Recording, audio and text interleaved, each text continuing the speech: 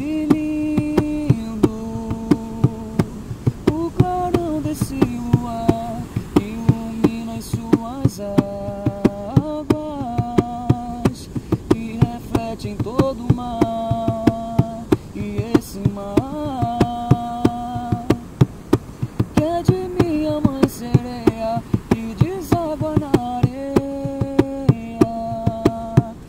que é pra nos purificar.